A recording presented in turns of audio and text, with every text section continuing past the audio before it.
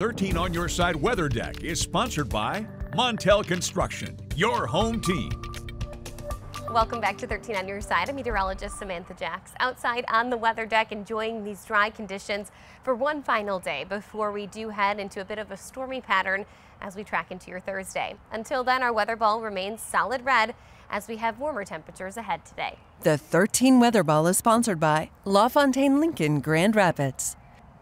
Now, in terms of our current conditions this morning, we're sitting at 57 degrees in Grand Rapids, so a little bit cooler outside, 60 degrees in Ludington. Winds right now are nice and calm. They're going to be out of the south and west throughout the day today, actually dragging in a slightly warmer air mass, of course, why the weather ball is red. So by the time we hit around noon today, we actually will be as warm as we topped out yesterday afternoon. After that, we continue to climb to about 84 degrees during the afternoon hours underneath low humidity levels, which so another comfortable day is in sight. As for our um, conditions for tomorrow, that's where they get a little bit stormier. Tonight, we have about a 30% chance for an isolated shower or storm to develop. Temperature wise, hanging on into the mid 60s, so also a little bit warmer than what we've been experiencing the last couple of nights. And then tomorrow, that low end threat for severe weather.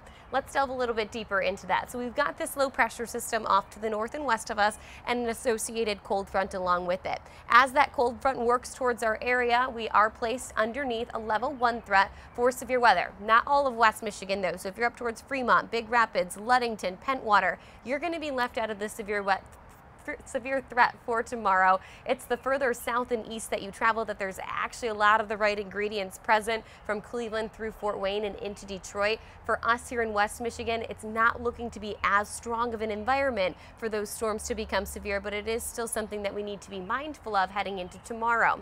As for 8 o'clock this morning, or tomorrow morning, I should say, a couple isolated thunderstorms. That's not the batch that we're going to be watching. It's right around noon and continuing on until around 3 to 4 o'clock that we could potentially see some strong to severe storms. They exit the region and we're left with mostly sunny skies to round out your Thursday and heading into Friday back to quiet skies. So it'll be a short-lived event. It's not going to be widespread rain showers for everybody, but those who do see a thunderstorm cell or two develop need to be mindful of its strength. In terms of severe outlook, it could be gusty winds, maybe in some hail, and a heavy burst of rain.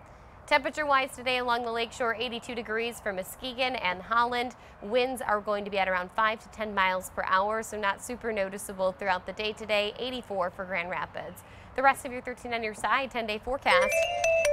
We did add just a 30% chance for some pop-up showers in the afternoon hours on Sunday. We continue on with some chances for storms on Monday as well. None of those days look to be washouts by any means.